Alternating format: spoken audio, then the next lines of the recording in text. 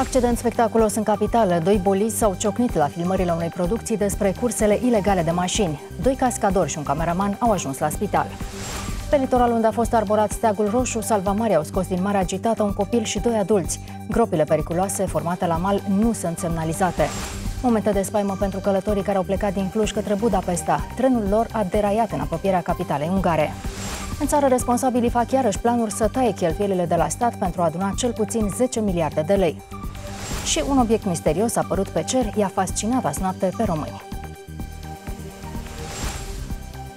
Oana Andoni vă prezintă știrile ProTV.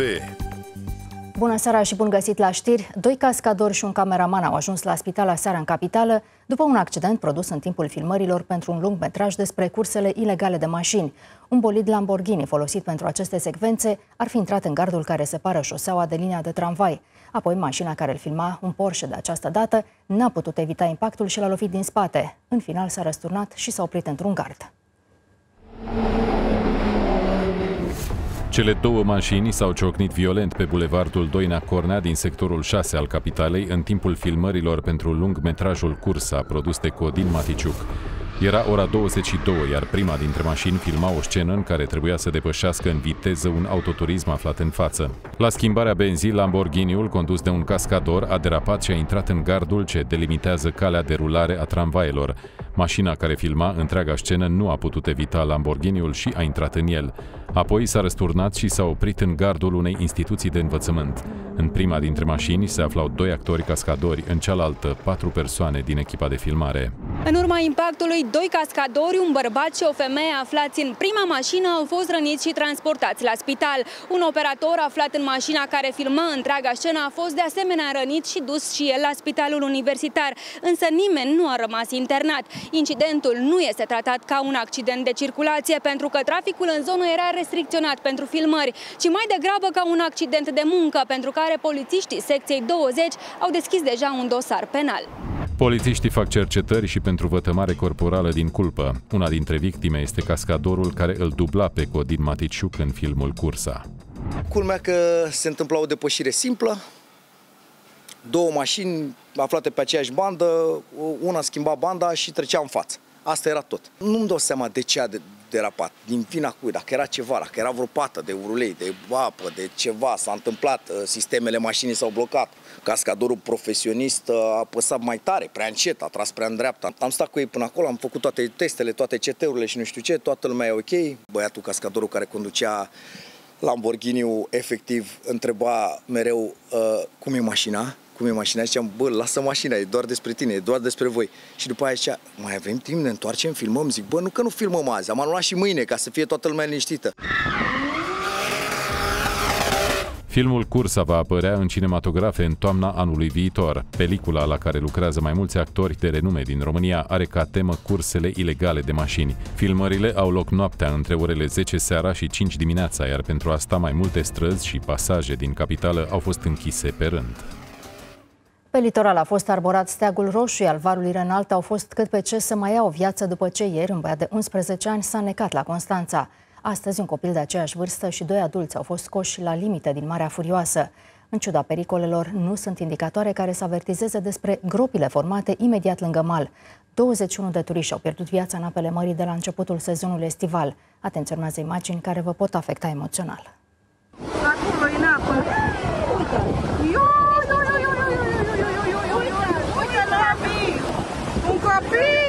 Aceste imagini dramatice au fost surprinse în Costinești. Deși era arborat steagul roșu, băiatul de 11 ani a intrat în apă în timp ce părinții îl priveau de pe mal.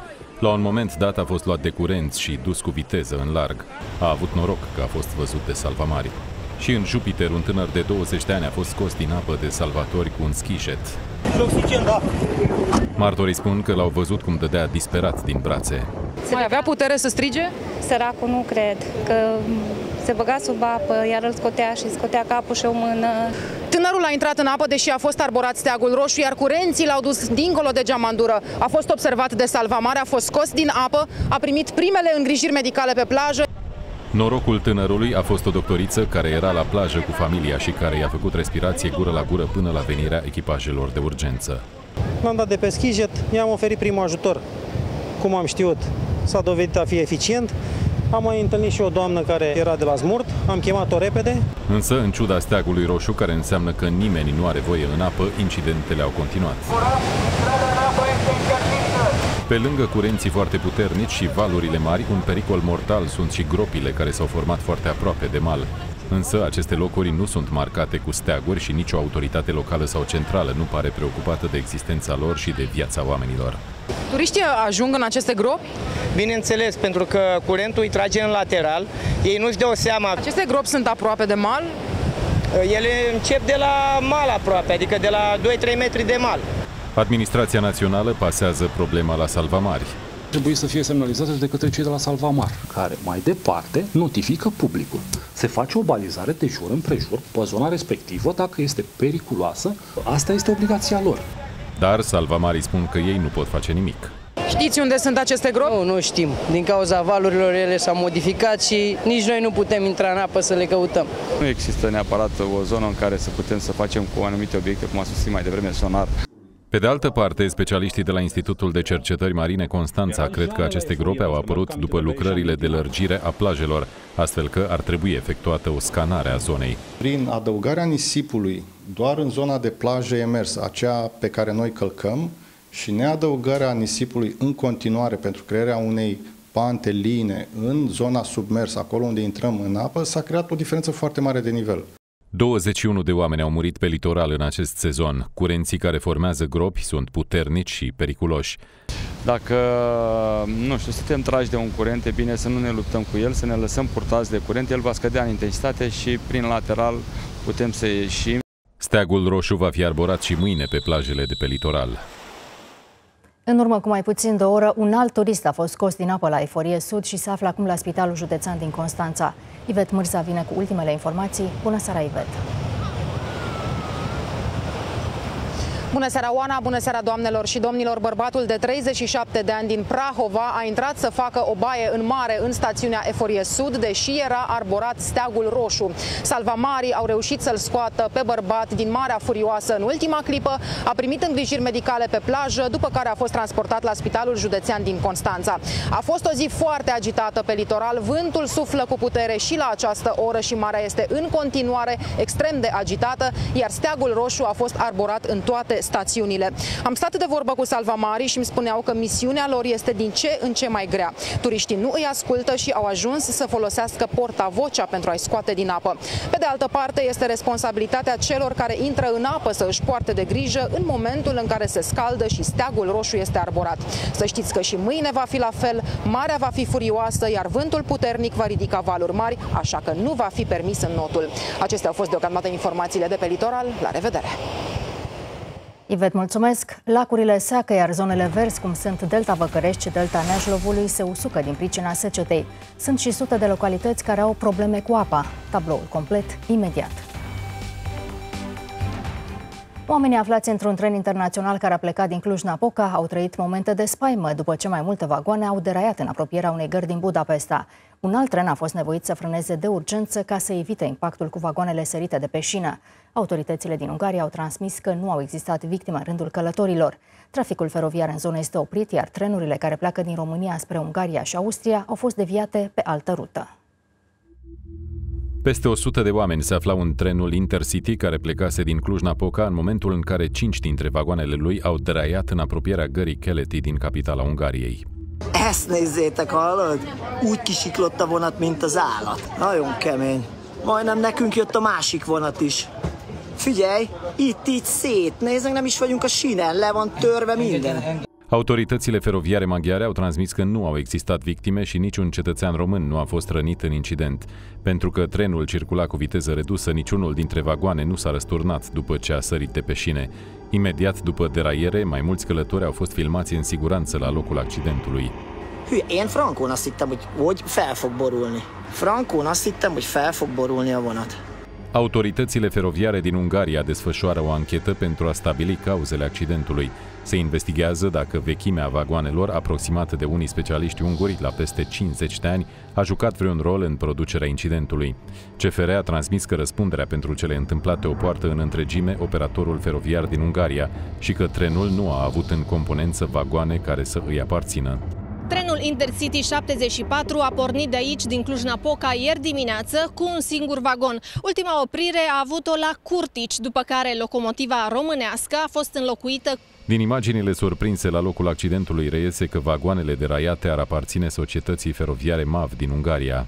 Din câte știu eu, nu ar fi o problemă de vagon. Cauzele posibile ar fi parte de infrastructură.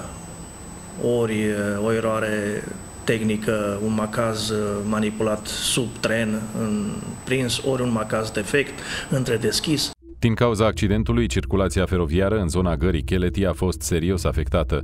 Mecanicul unui tren aflat pe o altă linie în momentul deraierii a fost nevoit să acționeze frâna de urgență pentru a evita un impact cu vagoanele sărite de pe șine. În zonă nu se circulă normal nici la această oră. Este o zonă de o densitate foarte mare de linii. Astfel de incidente se soldează și cu distrugerea ale instalațiilor de semnalizare, ale liniilor. Accidentul în care a fost implicat în Ungaria trenul plecat din Cluj-Napoca a dat peste cap planurile de călătorie pentru aproape 100 de mii de oameni. O avarie produsă la centrala nucleară de la Cernavodă afectează producția de energie electrică la nivel național. Reactorul 1 a ieșit din funcțiune astăzi la prânz. Nuclear Electric a anunțat că s-a deconectat automat de la sistemul energetic național din cauza unei probleme care ține de protecția unui transformator. Specialiștii centralei nucleare lucrează pentru remedierea avariei. Pentru a compensa scăderea producției de energie, Hidroelectrica și-a crescut rapid producția, compania de stat având și rol în echilibrarea sistemului energetic național. Cu o presiune uriașă pe buget, guvernul caută soluții pentru a reduce cheltuielile. Instituțiile de stat vor avea anumite interdicții la achiziția de mobilier, mașini și alte bunuri și servicii considerate neesențiale, potrivit unui proiect al Ministerului Finanțelor. Alți bani ar putea fi strânși de la acordarea de facilități celor care își achită datoriile restante la ANAF. Guvernul vrea astfel să adune cel puțin 10 miliarde de lei în următoarele patru luni ca să evite sancțiuni de la Comisia Europeană. Potrivit unui proiect scris la Ministerul Finanțelor, instituțiile de stat nu vor mai putea face unele cheltuieli până la sfârșitul anului. De exemplu, nu vor mai avea voie să cumpere mașini, mobilier, nu vor mai putea plăti cărți și nici studii ori servicii de pregătire profesională, iar autoritățile locale nu vor mai putea cheltui bani publici pentru organizarea de evenimente, cu excepția sărbătorilor legale și a zilei de Crăciun. Proiectul propus de finanțe, care încă nu a fost bătut în cuie în cadrul coaliției, prevede de fapt măsuri care au fost propuse și anul trecut, tot pentru reducerea cheltuielilor bugetare. Ministerul Finanțelor vizează astfel să obțină 5 miliarde de lei la buget, iar alte 5 miliarde de lei ar urma să vină din investițiile făcute de stat. Cheltuielile pot fi mai mari cu cel mult 15% față de media lunilor ianuarie-august, însă doar în cazuri excepționale. Măsurile propuse nu se referă la sănătate și educație.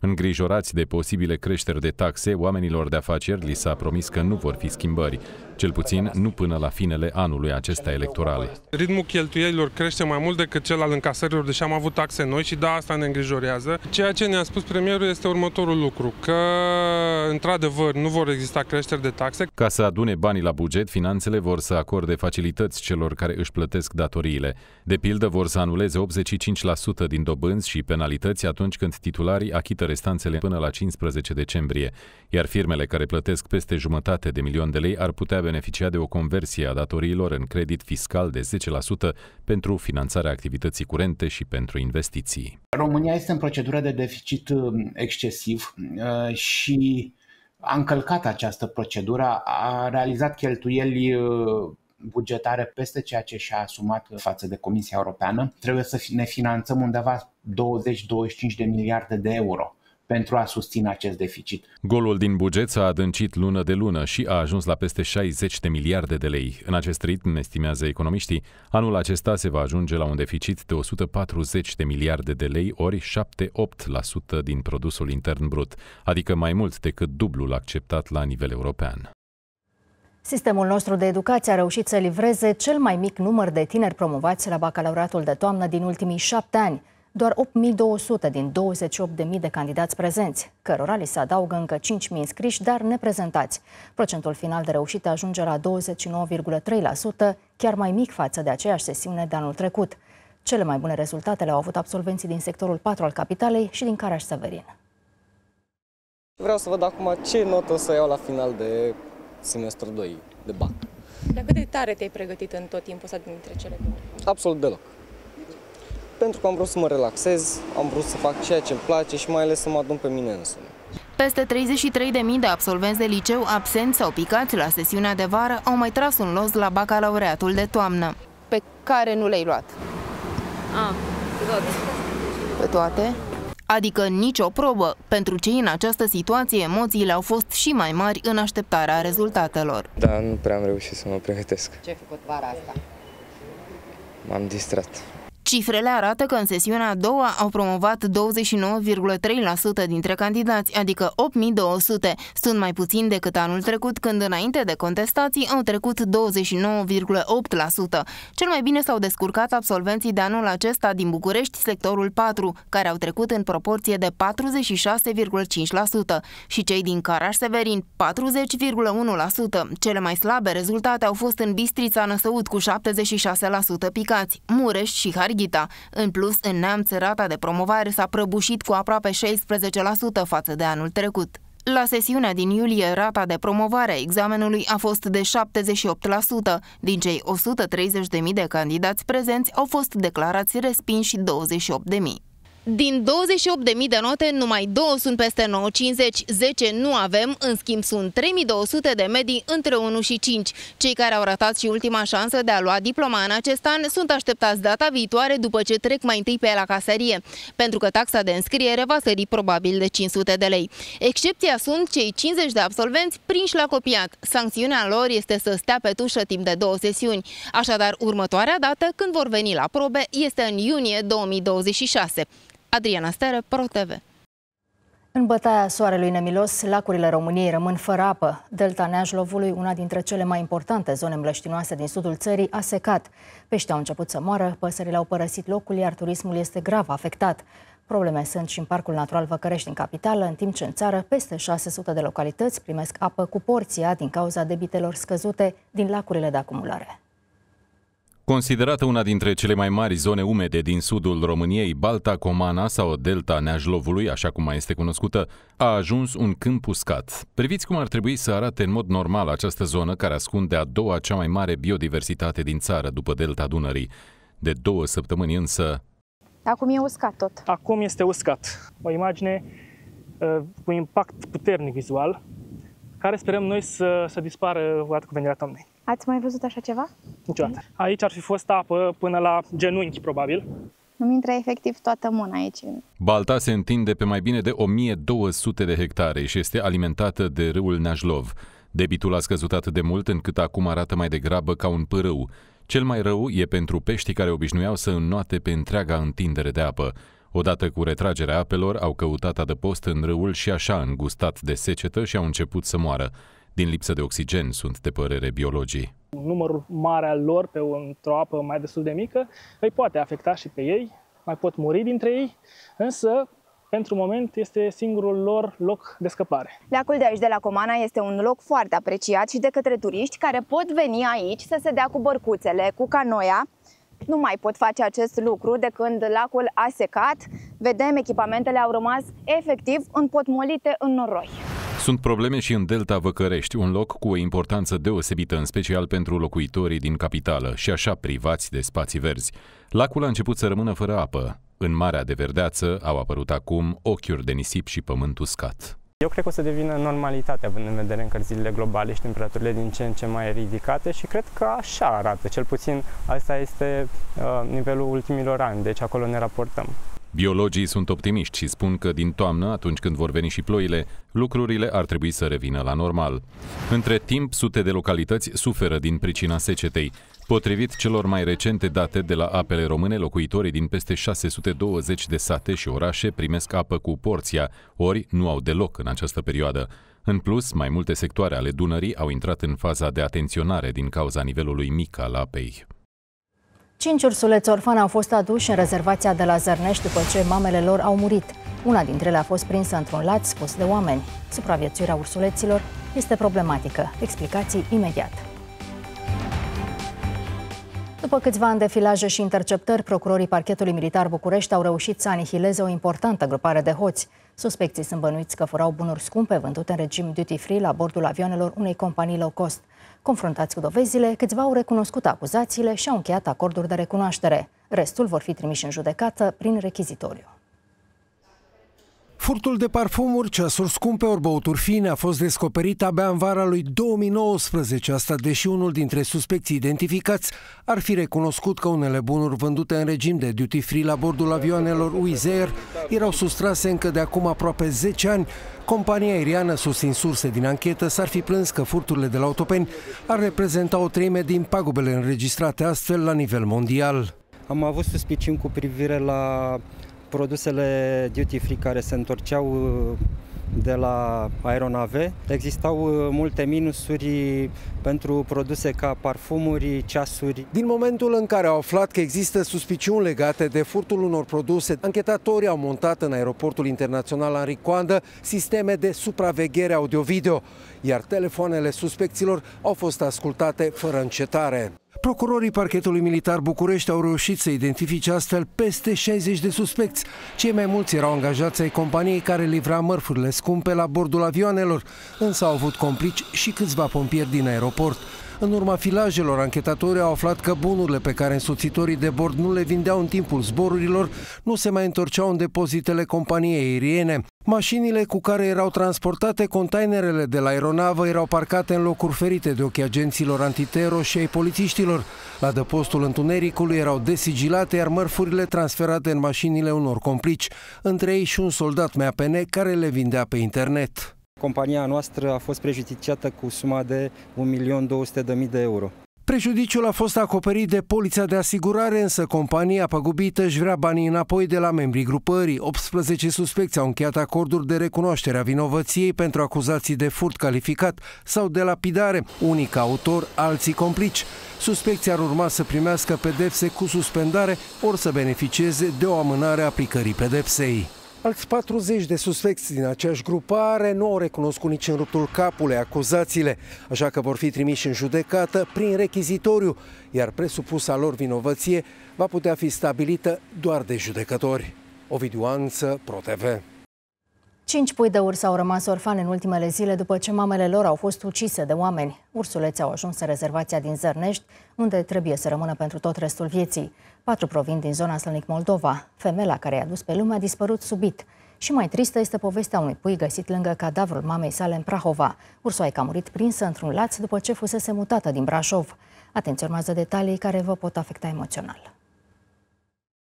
Cei cinci pui de urși au ajuns în rezervația din Zărnești, aduși de reprezentanții a două fonduri cinegetice care nu au oferit prea multe explicații despre mamele lor. Ursuleții sunt mai mici de 8 luni și ar muri singuri în sălbăticie.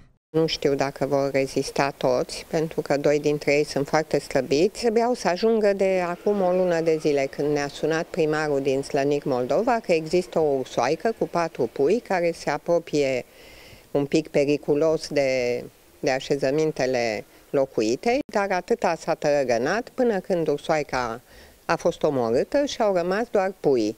Direcția Silvică Bacău administrează fondul cinegetic din zona Slănic Moldova. Reprezentanții instituției spun că nu au organizat nicio vânătoare, deși ar avea dreptul să împuște un exemplar. Cu siguranță ne gândim să extragem, dar din punctul meu de vedere, acum, dacă nu este vreun exemplar periculos, atunci e păcat să omori un urs la care nu poți să-i valorifici nici carnea, nici blana.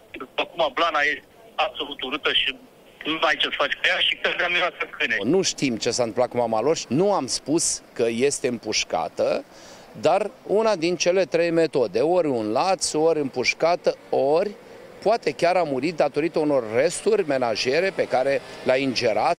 Cel de-al cincilea pui de urs a fost găsit în preajma cadavrului mamei lui la Izvoarele, în Prahova. Femeia avea la gât un colier care arăta că a fost adusă acolo pe 6 august din Brașov. Decizia mutării a fost luată după ce ursoaica a ajuns împreună cu puiul într-un loc de joacă din oraș. A fost prinsă într-un laț și a agonizat mai mult de două zile lângă puiul ei, adică puiul a văzut cum mama se chinuie să moară.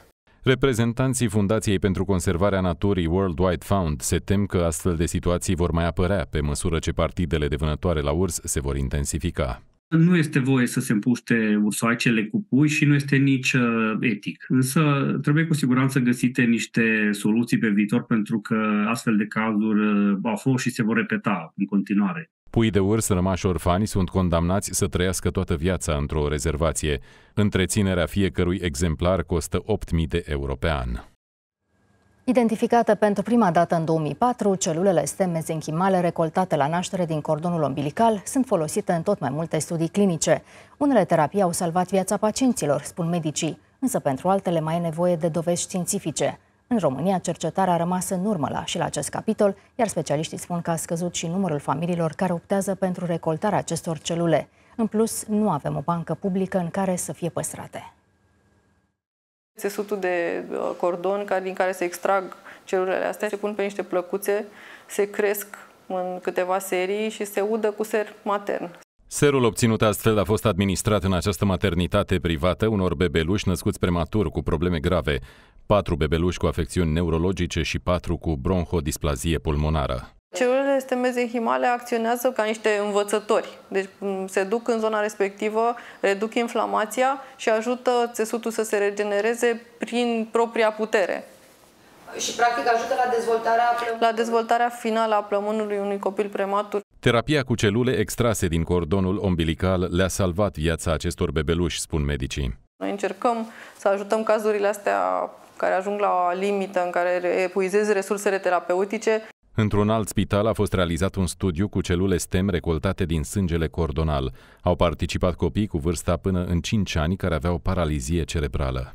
Poate un bias al acestui studiu a fost că acești copii au primit kinetoterapie mult mai uh, intens decât făceau anterior studiului. Pe termen lung, după un an de zile, aceste efecte motorii au dispărut. Eficacitatea este foarte variabilă din punct de vedere al efectului asupra spasticității și asupra performanțelor motorii. Specialiștii spun că la nivel global au fost folosite până acum peste 45.000 de probe de celule STEM recoltate din cordonul umbilical. Au fost extinse ariile terapeutice de la oncologie, hematologie către boli metabolice și neurologie. În Statele Unite, Corea, Austria sau Elveția sunt foarte multe studii în care astfel de terapii se folosesc în încercarea de a trata cancere, boli ale sângelui sau cerebrale. Chiar dacă tratamentele sunt relativ recente, evoluția cercetărilor din zona medicală îi face pe medici să fie optimiști în privința utilizării celulelor STEM recoltate la naștere.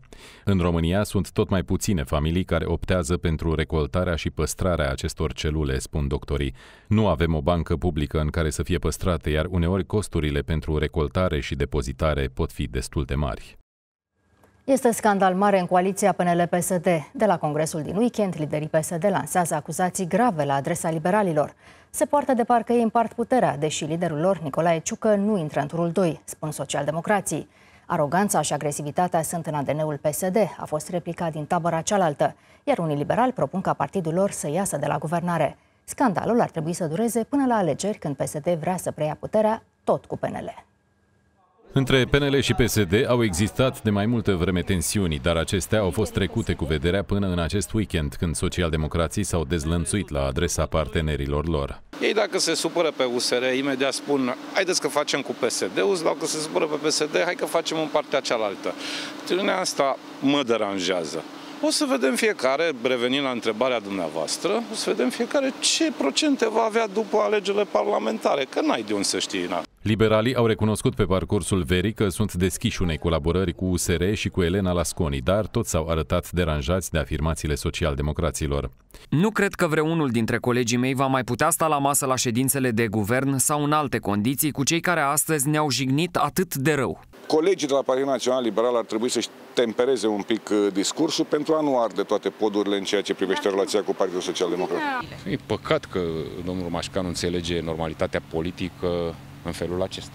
Atacurile politice și, din păcate, unele de cele mai joase speță nu și-au loc într-un dialog care ar trebui să fie, bineînțeles, politic. Acum, uh, PSD-ul are, într-adevăr, se pare că e în ADN-ul lor politic această agresivitate și această, acest soi de, de aroganță, dar uh, sper ca de data asta să existe maturitate să separăm puțin aceste două planuri politic și guvernamental. Da. În ciuda acestor atacuri, și PNL și PSD susțin că după alegerile parlamentare, ambele partide vor forma din nou majoritatea și vor conduce țara împărțindu-și puterea. Acum, cum au arătat uh, lucrurile și făcând o comparație totuși între o guvernare exclusiv de dreapta, din punctul meu de vedere, în viitor eu nu văd altă coaliție de guvernare decât cu Partidul Național Liberal. Liberalii își vor anunța oficial candidatul la prezidențiale în prima săptămână din septembrie.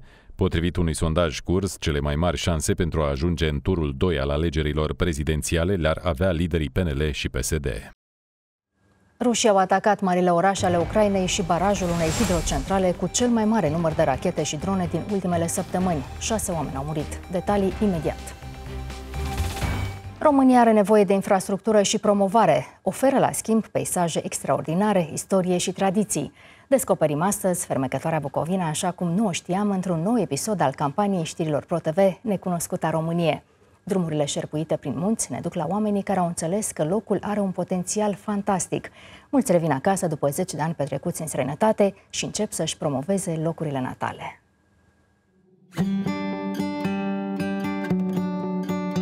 Trans Rarăul, considerat al treilea cel mai frumos drum din țară, după Transfăgărășan și Transalpina, este pentru mulți turiști poarta de intrare în Bucovina.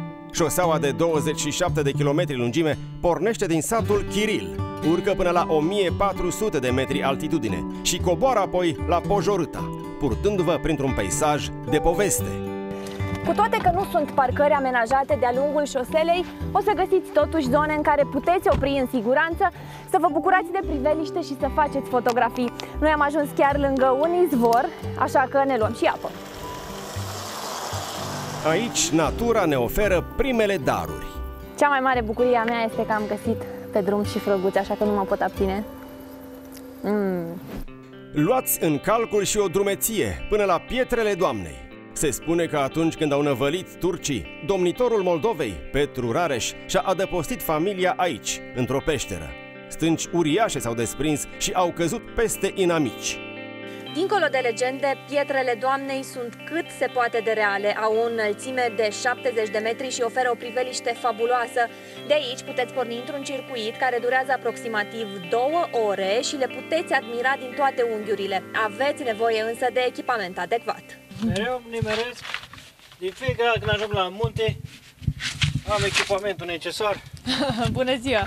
Să rup, să rup poasele. Ne ziceți cum e mai sus?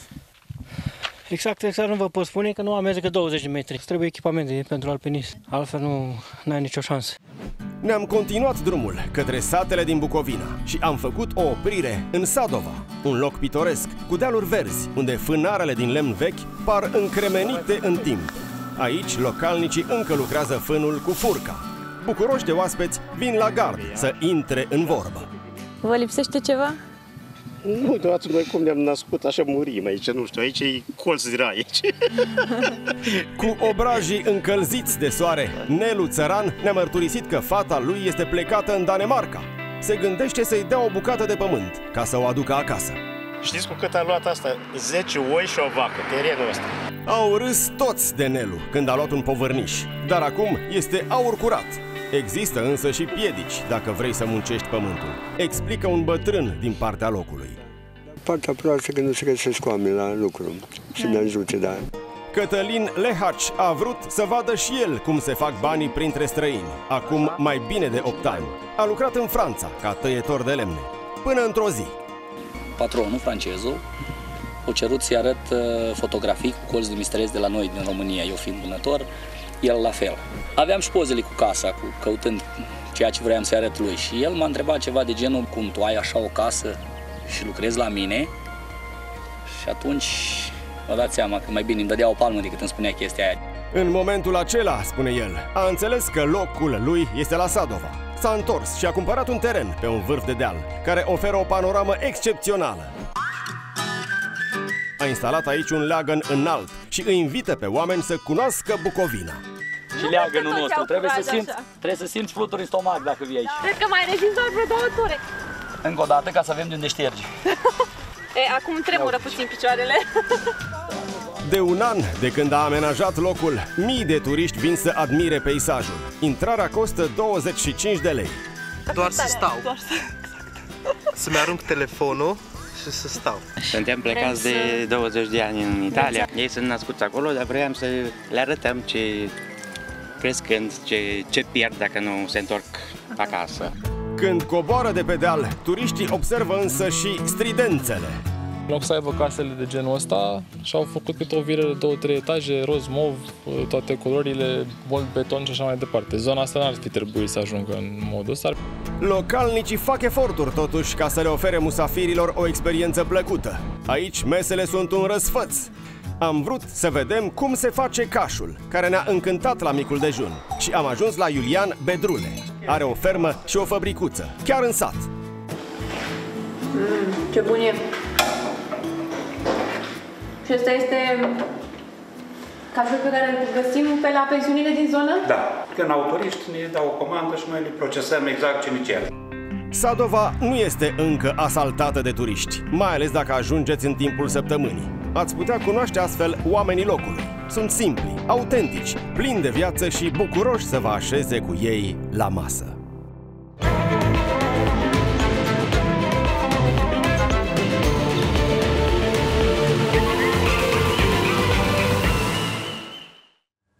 Imagini spectaculoase cu un obiect zburător luminos care se mișcă pe cerul nopții au fost surprinse în mai multe zone ale țării. L-au filmat oamenii în Timișoara, Deva, Arad, Dâmbovița, Teleorman sau Craiova și mulți susțin că apariția misterioasă a fost însoțită și de un sunet.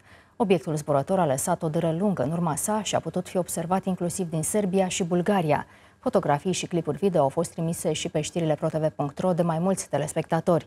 Fizicienii spun că este vorba despre un deșeu spațial, cel mai probabil un satelit Starlink care ar fi intrat necontrolat în atmosferă. Cel puțin șase oameni au fost uciși după ce Rusia a atacat Ucraina cu cel mai masiv baraj de rachete și drone din ultimele săptămâni. Au fost vizate marile orașe din 15 regiuni, inclusiv Kievul. A fost bombardat și barajul unei hidrocentrale din apropierea capitalei. Kremlinul a avertizat că va urma un răspuns încă și mai dur la ofensiva ucraineană în Kursk, pe teritoriul Federației Ruse. Pe de altă parte, Polonia a spus că probabil o dronă a intrat în spațiul său aerian și armata caută eventuale resturi.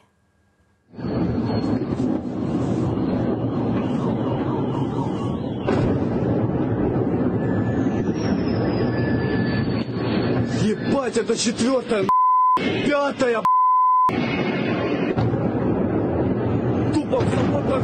Це був один з найбільших ударів. Комбінований більше сотні ракет різних типів та близько сотні шахедів. І як більшість попередніх російських ударів, цей такий же підлий націлений на критичну цивільну інфраструктуру. По більшості наших регіонів від Харківщини та Києва до Одеси і наших західних областей. În capitală au răsunat îndelung sirenele și oamenii s-au înghesuit în stațiile de metrou, care sunt folosite drept adăpost. Un grup de tineri intonau imnul oficial al Kievului, în timp ce afară răsunau exploziile proiectilelor interceptate de apărarea antiaeriană.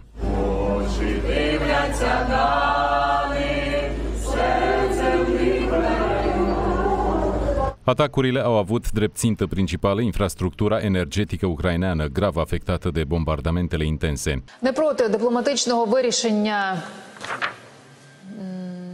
Alimentarea cu energie electrică și apă s-a întrerupt în anumite părți ale Kievului. Не може бути в Україні обмежень в далекобійності, коли у терористів немає таких обмежень. Америка, Британія, Франція, інші партнери мають силу, щоб допомогти нам зупинити терор. Потрібні рішення.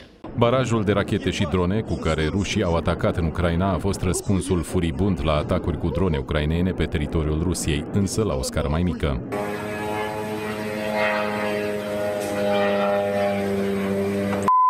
Это пи...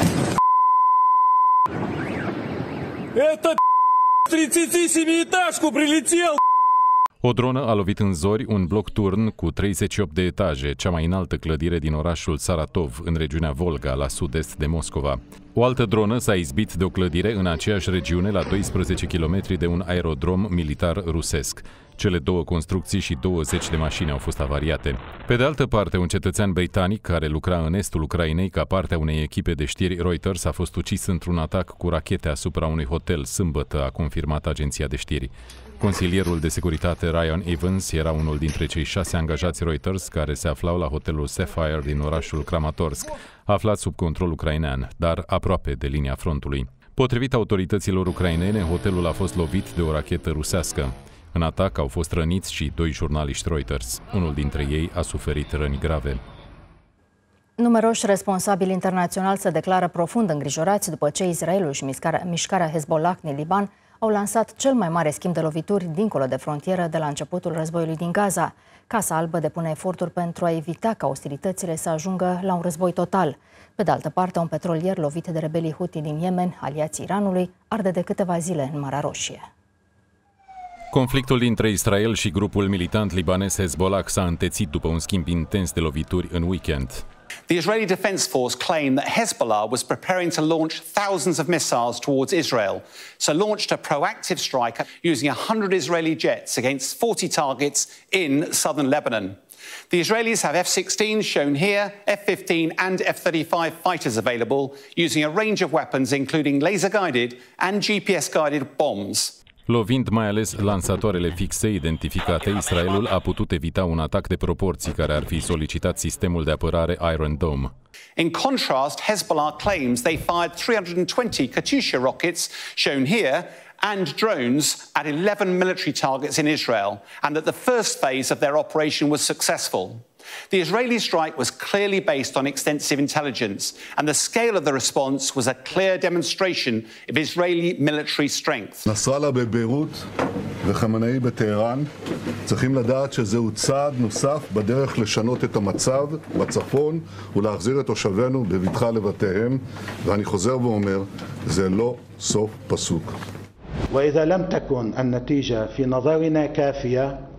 فسنحتفظ حاليا لأنفسنا بحق رد حتى وقت آخر Pe de altă parte, reacția Iranului la atacul terorist israelian din Teheran este definitivă și va fi măsurată și bine calculată.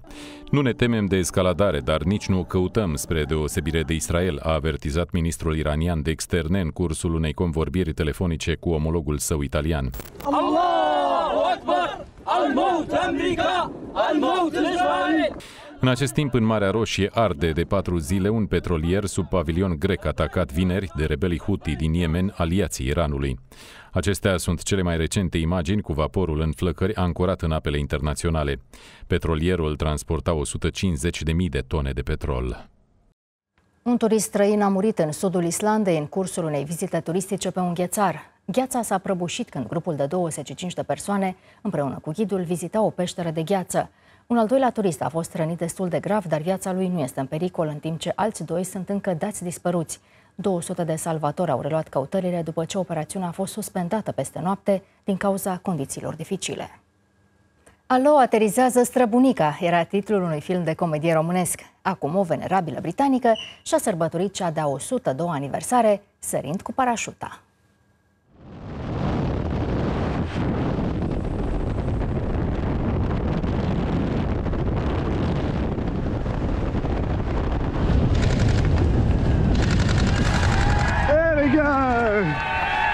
Job, how was that?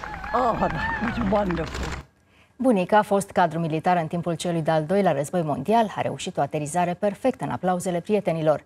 Astfel a devenit cea mai vârstnică parașutistă din Marea Britanie. Iar aceasta nu este singura sa ispravă. Acum doi ani și-a sărbătorit centenarul pilotând o mașină de curse pe o pistă de circuit.